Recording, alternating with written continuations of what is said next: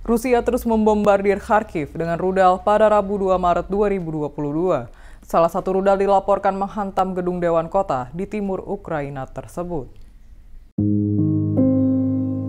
Sebagaimana dilansir Reuters, wakil gubernur di kawasan tempat Kharkiv berada, Roman Semenuka, mengonfirmasi bahwa gedung Dewan Kota memang menjadi sasaran rudal Rusia. Rudal itu menghantam gedung Dewan Kota di hari kedua Rusia menyerang habis-habisan Kharkiv. Sepanjang hari pertama, 21 orang dilaporkan tewas akibat gempuran Rusia.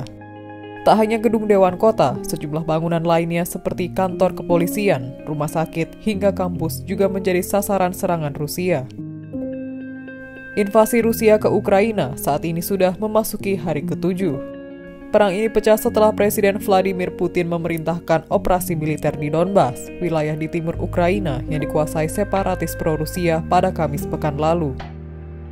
Tak lama setelah itu pasukan Rusia merangsek masuk Ukraina melalui utara, selatan, dan timur. Ukraina lantas membalas serangan atas nama mempertahankan diri. Perang pun seketika pecah. Rusia masih terus membombardir sejumlah kota di Ukraina, termasuk ibu kotanya Kiev. Tak hanya militer, sejumlah warga sipil juga tewas akibat serangan Rusia ini.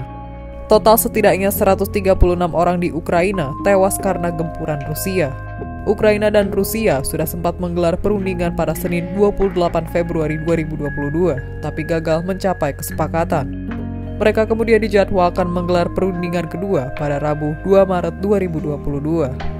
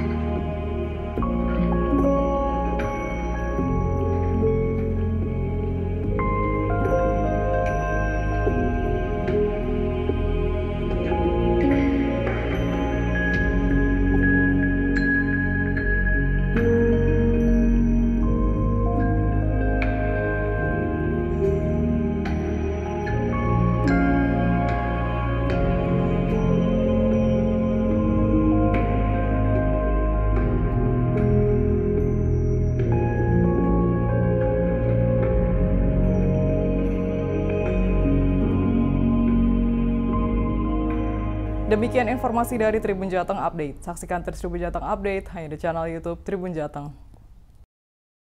Ikuti update terbaru dari sosial media Tribun Jateng.